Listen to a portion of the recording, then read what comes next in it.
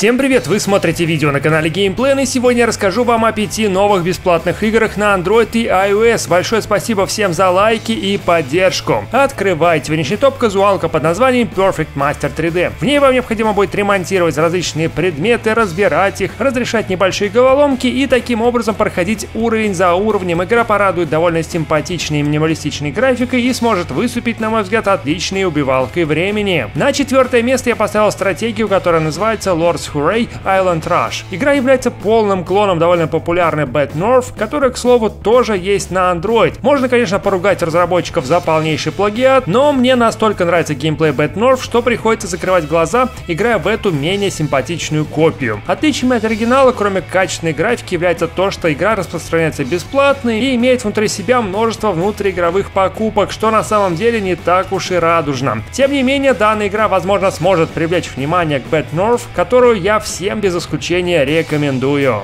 Тройку лучших открывает пошаговая головоломка про маньяка-убийцу Slayway Camp Free to Slay. Это новая фри-то-плейная версия довольно популярной головоломки, в которой вам предстоит выступить в роли маньяка, напавшего на летний лагерь. В игре вам в пошаговом режиме предстоит убить всех людей на локации. Причем сделать это вы сможете как вручную с помощью ножа, так и в результате несчастного случая. Напугав кого-нибудь на локации, вы сможете заставить бежать их в огонь, в воду или яму. В принципе, головоломка качественная и подумать в ней есть над чем. В общем, кому понравилось, обязательно поиграйте в нее, а также в другую игру от этого разработчика, которая называется «Пятница 13 Второе место занимает гоночная аркада под названием Kart Rider Rush Plus. Игра представляет из себя классические гоночки на картингах в различных режимах, среди которых есть как многопользовательские, так и одиночные. Всего в игре присутствует более 45 трасс, на которых вам предстоит участвовать в заездах. Как и предполагает гонкам этого поджанра, в игре вы сможете использовать множество бустеров и паурапов, которые помогут вам одолеть своих соперников. Но будьте внимательны, ведь все возможные гаджеты могут быть применены и против вас. В целом аркада неплохая, и я думаю, она заслуживает сегодня оказаться на втором месте.